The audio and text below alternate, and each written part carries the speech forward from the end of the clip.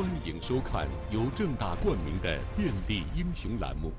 疫情肆虐，县城封锁，劳务输出如何进行？那我跟你说过几次，人家打电话说过几次，那你你你叫人调叫人出出去嘛？你给你这长时间，还准备给你咋说？政策引导百姓需求，作为基层干部，他们如何对接落实？确实是很矛盾的，所以说我有点觉得这工作不好干，真的不好干。云天化股份提示您收看本期节目。二零一九年十二月，新冠肺炎疫情来袭，在劳务输出大县的国家贫困县洛南县。无数人被隔离在家，复工复产和脱贫巩固工作由此面临着巨大考验。如何在疫情肆虐下打开当地人外出务工的门路，是全县面临的大难题。你今年多大？今年三十岁。三十岁。出门去不去？出门目前没哪去。不是给你写好工证，真想政府招工的吗？对，政府不去。你想挣四千块有四千，挣五千块有五千块你说，小伙年轻，就是断断续续，他不是前下。不一定吧。李爱文负责落实当地政府的各种政策，在这次劳务输出工作中，他始终奋战在基层一线。现在你考虑哈，考虑。上级给我的要求就是。尽量摸清这个底子，然后帮助这伙没有想外出又无法外出的这伙人提供帮助。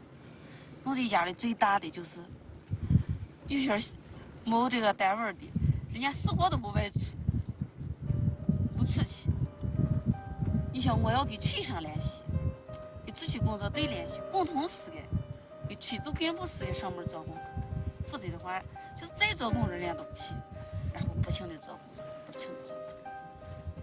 他说的是真实话，有的时候压力确实大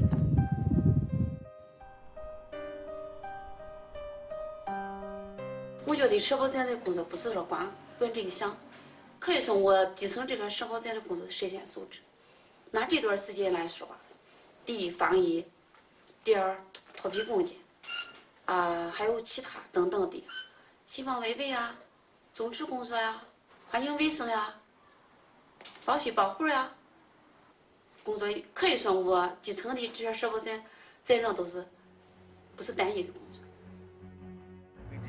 而目前对李爱文来说，最重要的工作无疑是让因为疫情被迫滞留在家的外出务工人员尽快走出家门，复工复产。收集他们的工作意向。相应的推荐合适的岗位，这看似简单的工作却困难重重。不仅要挨家挨户上门做工作，教他们扫描二维码、上传信息，还要面对各种变数。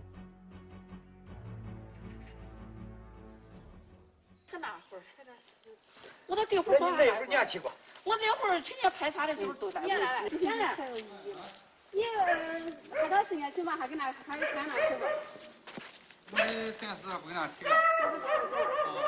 你看你最近又没打算？看你最近想想，比如说我的明年新年不想去了，我的想跟那去的，好嘛，其他地方。最近出来不？我那不是我再过段时间我到新年去，我还不知道我还没回来，我回来跟人家商量一下。是不是？嗯。那你商量。这个区民不是还有这个贫困户，呃，家庭有四口人。四口人两个孩子，嗯，他媳妇给他，家庭所有的收入都靠他了。如果说他不能，即使叫他出去务工，他全家的收入靠啥呀？对不对？家庭重担都在他身上，所以说了解到群上了解这个情况之后，咋说？不能放弃，继续做工。就我的原则就是，一个都不能漏。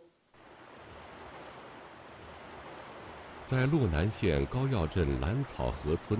由于村里出现了两例新冠病毒确诊患者，致使全村长期处于隔离状态。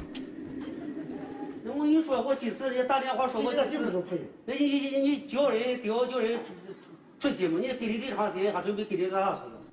村民王海婷已经四个月没有收入了，他多次找到副书记王生俊问询解封的时间。这关键是是是我你给我这我我支付他了。那我这次都跟你说，我说的是我这屋那主要出去要挣钱嘛，你我给你这屋那不是个事情嘛，那要花钱嘛。这娃还要出去，娃要念书，屋老人财务那还要还要生活。但是你要考虑到到农民这个利益问题嘛，是不是？咱不考虑到你这你那你那将来以后到我外头你自觉自由化，你拿你你你你让他往往往往往会计卫士底下的起哭，你知道不知道？那我也是没办法。你对我我对小我生气很，我跟你说。这段时间你知道一下隔离时间太长，盯进去的屋坐着等坐着吃，那叫人心着急吗？他这伙人你因为是不是在单位上？单位你也不着急吗？伢是一年在屋是固定固定收入。你像他这个农民财务，你得早起起来给人家干到后，这才给你钱。你就坐在屋里，那不可能给你发钱嘛？主要说急呢，出去要要要心活干嘛？关键是要挣钱呀，没得钱是不行。最近咱这个磨地儿那个磨的咋样了？磨地磨的差不多了，差不多现在就。因为兰草河村出现了确诊病例，这个乡镇的气氛远比其他的地方更加紧张。这里滞留在家的村民也更加渴望能尽快出去工作。眼看距离年底脱贫攻坚验收的时间越来越近。屈直心里非常着急。那我给你叫上手东西，对吧？那都一样。你就是现在支持一下织袜子工作，是吧？一定要把这形势和那个，咱这个就业扶贫这块就是最直接、最有效的脱贫方法，对吧？就是。就是你一定要把这个底子摸清、做实。对。而且这个这这个这个工作还特别紧。在洛南县，像屈直和李爱文这样的社保站站长一共有十六人。除了封闭的兰草河村外，全县都受到疫情封锁影响，面临着交通不畅、经济低迷的难题。在这个特殊复杂的时期，基层干部们唯有一家一户的动员，因人因事的对接，除此之外别无捷径。你这，嗯，你他到外省去打工得行，外省也有那的固定的单位你比如说，我给他介绍个单位吃活他干的。他先到外头去，呃，干上两三个月，或想回陕西打工，一会儿回来就行。这两个月你还能挣下钱？你看这事，我给你先瞧哈，你看得行。食品厂，像南通这个食品厂，这这个你看，每月的十号发工资，就是三月十号发二月份的工资。嗯。呃，四月十号发三月份的工资。嗯。这儿的吃住都免费，水电费也不用掏，食品厂也是水电费都不叫你掏。把这把查着后顾之忧，我就要给解决，我就把你问清定清了。呃，你叫走不叫走？还不想交租？不交租，没钱花。不叫走没钱花，还不想交租。李爱文发现，有打工意愿和出路的村民，已经在疫情稳定之后早早出门复工了，而如今滞留在村中的，往往是谋生能力一般。或者在外面没有门路的困难人员，而这群人正是他们这次帮扶工作的重点对象。这天，县里为了进一步推动劳务输出工作进程，针对贫困户的就业问题进行了一场线上会议。呃，四号阶段的李两文，你有啥问题？呃，不是，你刚才才给他会上啊，也通报了他前期工作开展的问题，就说第一步他已经解决了出行难的问题。第二步主要解决这个就业难的问题，然后完呃，金融也是这个收据这些工作做了讲解。对我这边现在存在有这个问题啊，他通过他这个网上登记注册，给他这个摸排以后，现在摸排起来第一步为人是个啥呢？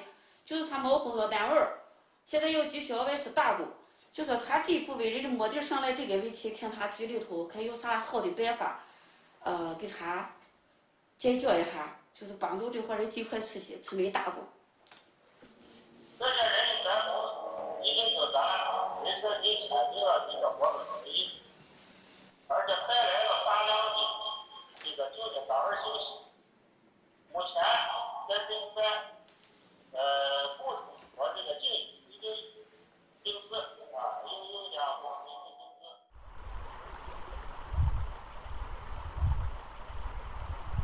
老王。最近的任务晚上咋样？这些天，兰草河村的党支部副书记王生俊起早贪黑，走家串户，摸底调查，复工的问题没解决几件，自己却受了不少冤枉气。我就要吃没没办法。现在你跟我说，你把底子先摸清。没办法，底子摸清，先要吃。这有的东西你自己想个办法。你这块可以想办法。这块就是给群众该走的，你该这块人家能走的，你给你把人先报过来，报过来我给你该联系车还是跟跟人家人社局是对接，对吧？他尽量你先把底子是摸清，人家知道该到哪去嘛。他就是给给人家人家提供岗位，那都有有个是啥事听说现在起起混混了，一天到晚找我去了给我弄，政府你这块给俺给俺娘，去了给我真的是直头怕了。我这也没办法，因为上次之前不是你报过，报过之后人家报上去，人家给打下来，说啥最后不是说咱兰草关人不能走，其实把我夹到中间也很尴尬，我跟你也没法说。你说我要你报一回报上去，有时候人家可能。上头家有时候那个政策不允许，差点人是往出走。我也觉得吧，你日弄一回有一回，那是确实是不美。反正我能那才能理解。呃，目前主主要面临这个这个面临这个疫情，真的工作难搞。人家这人我比较紧，你只能就操过去。操心操心。操心这个，你一个人忙不过来，你到区上操心了吧？疫情期间，李爱文天天在各村之间奔波，无暇顾及因疫情无法返校、独自在家的儿子。已经过了下班时间，但李爱文没有回家，他要赶去长途汽车站送最新一批外出务工人员上车。这时，儿子的电话打了过来。弄啥吃的呀？弄啥吃啊？你你中午吃的啥？方便面，赶紧回来做饭了。行行行，好，那就这啊。我忙着了啊，一会儿给你打。上班了啊，就这。你上啥班了上班着还忙着有工作啊。你弄啥了嘛？刚开笔会，领导还给安排的工作，一会儿给你打啊。尽管这通电话让身为母亲的李爱文心中充满了对孩子的亏欠之情，但她并没有改变计划。多年以来的工作让李爱文形成了一个习惯，只要是经过他走出去的村民，他一定要亲自送他们上车，一一叮嘱安全后，看着他们离开。这是我给你定的点，到哪儿去？我举手人家唱的几率。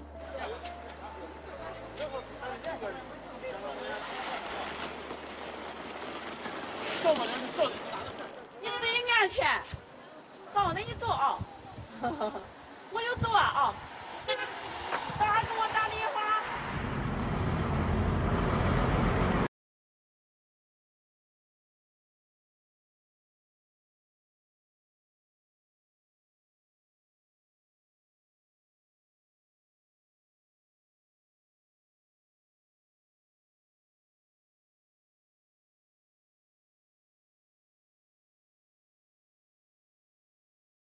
早上六点多起来，七点就赶到单位，就给各区，就把那信息发出去，要表做啥嘞？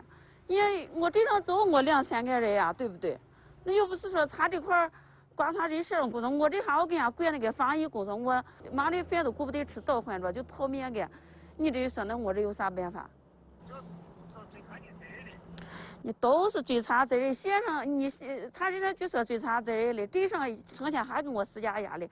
嫌我把门口那防疫啥没那个好，以前就我三个人，你知道不？好好领导，你你你说又不是说查人事了，我还管防疫哩，就我三个愁的，嗯，哎。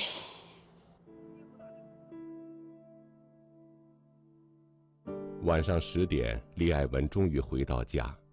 疫情发生后，这个时间回家已是寻常。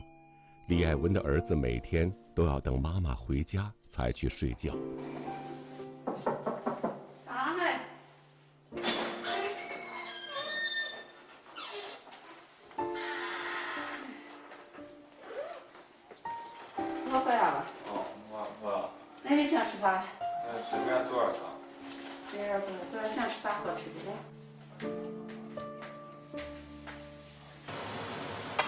对，这是会放就行了。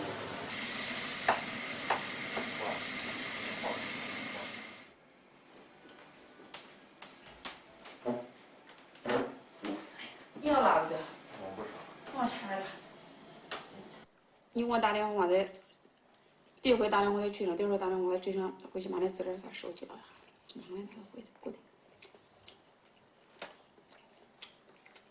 疫情期间，学校停课，李爱文的儿子每天都是一个人待在家里。妈妈如果能按时下班做顿晚饭，孩子就会非常高兴。那你搁这靠在屋行不行？要不你跟我到单位？不去。不去。不管。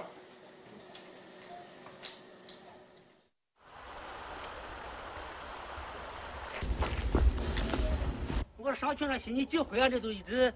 老跟你说，这叫出去打工，打工，那到底是咋回事情？他一直那就出不去嘛。你再不敢吵，你老是这个脾气。你那家我吵，我就还得太文艺了。就是正好把房子交来，正好给你呃，这次疫情基本上就国家咱解除啊。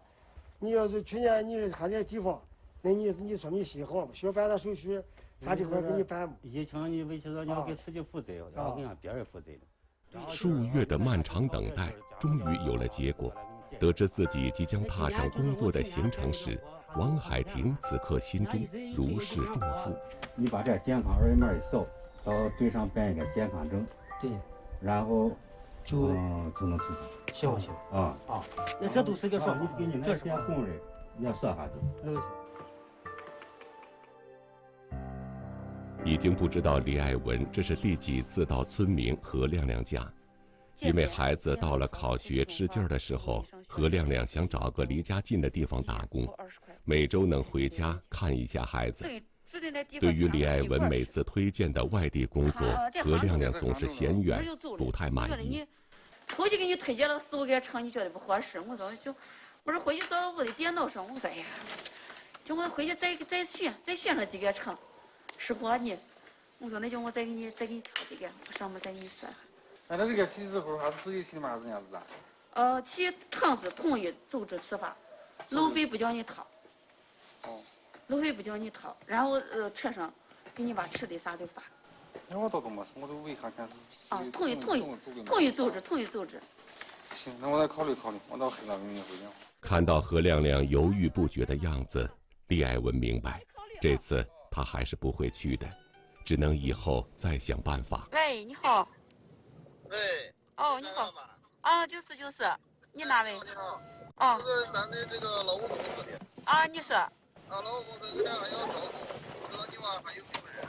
哎，有有有，我这块还刚好有一个。啊，行行，一个，你你你是这样吧，你跟咱多联系，联系就按咱个人。那行行行，我最近想为啥多多多那个啥，多注意着。哎，亮亮你好。哎哎哎。啊。在这，我不是前几前几天到你屋里去去了几回，给你去了好几个的公司，你都不愿意去，都觉得离离我的比较远。我现在刚才有个劳务公司不是给我打电话，也是刚好在西安嘞，人家工资也很好了，一月是四千到五千二之间，呃，吃住呃也是全全免，光是这个住宿呃水电费要平摊的啊，呃每月的十号到十五号。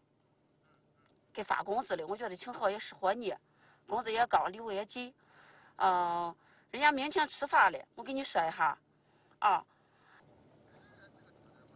啊，我觉得条件挺好的，所以说我跟你说一下，你看行不？行吧，我明天几点？明天就是十二点，统一乘车，路费都给你免了。可以坐那边，把把整办办，好好好。你这项也辛苦啊！哎，不行，这就就这事情。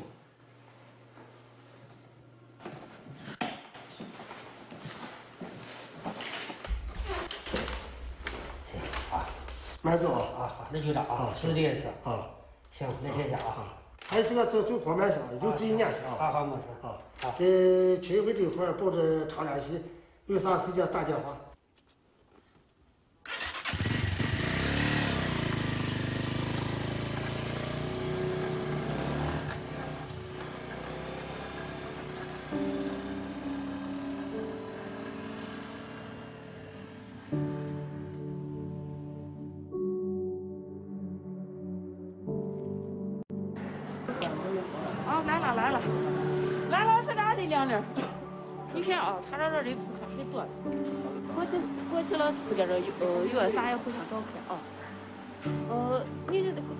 有啥可以给我打电话，也可以给他自己打电话，给军长打电话也能行啊。至于呃，至于说千万是防护措施做好。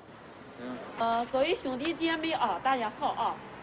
呃，今天咱们很高兴，你带着父母的一切希望，带着妻儿老小的一切希望，即将走上呃工作单位儿，北乡就可以说是一个新的起点吧。嗯，我希望你到厂子之后好好上班，要发扬咱洛南人吃苦耐劳的精神啊！好赵亮。对，来来来，我第三个啊。兄弟亲人啊。啊，多少度？我给弄。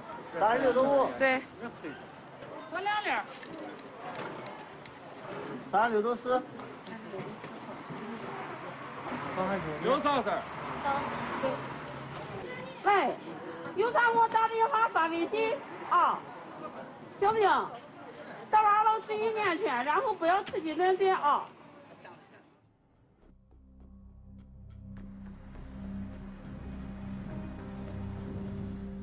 那你到底是人家把你隔离了，还是你不想上班？我不想上班。那你嫌辛苦，还是嫌咋？我看你要工资很高了呀。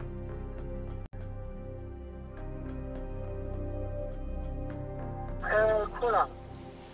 和我的娃哩，太苦了，哪有不苦的事情？以前学下来挣人家二百块钱的不辛苦。你想拿个高工资还不想下苦，哪有这哈事情嘞？你说我说的对不对？你在想干子？我会给你打个电话啊。嗯嗯嗯。所以说到这场之后，我就希望我就说，你看我一直给这个老公，我说既然送出去了，你走的时候一定建微信群，你要写上这后续帮扶的、人为关怀的。送出去为的是叫他要挣下钱来，这是才能行。你不能说一生了之，这也不行。这都是我亲身的情况。我说，我我干这工作，我也内心无愧，真的太累了。说实话，真的，唉，难。有时候为见下来，起码落实不了，确实是把你急得火火的。别说，哎呀，真的，我是觉得压力确实很大。操心就是这个人外出挣钱，你上门给做工。他有时候也不相信，送出去吧，你还害怕真正，真正真正今叫人家挣不到钱，人家埋怨他，你知道不？为难他的，我跟你说，哎，确实是很矛盾的。所以说，我就觉得这工作不好干，真的不好干。